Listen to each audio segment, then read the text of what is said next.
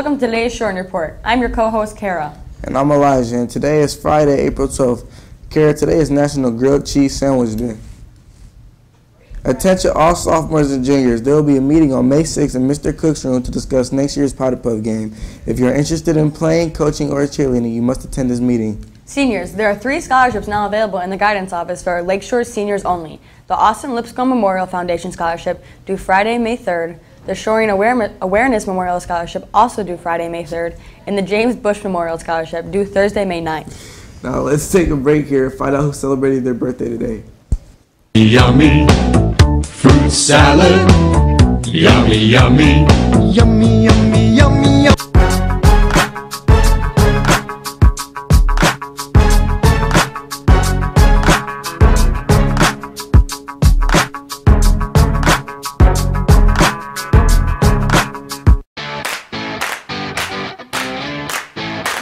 My Deal Graphics is a custom decorated apparel company. We provide anything you want on anything you want. From screen printing, custom transfers, and embroidery on t-shirts, bags, shoes, socks, mouse pads, and more. We have moved to an all-new location. We have moved to 26701 Little Mack Avenue in St. Clair Shores and are open for your business. Come check us out.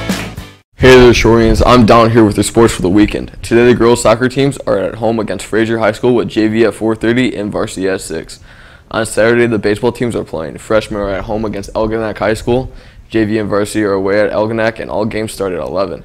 The lacrosse team is away at Avondale with a 12 o'clock start time. Come out to some of the home events and cheer on your Shorians to victory. Have a great day, Lake Shore.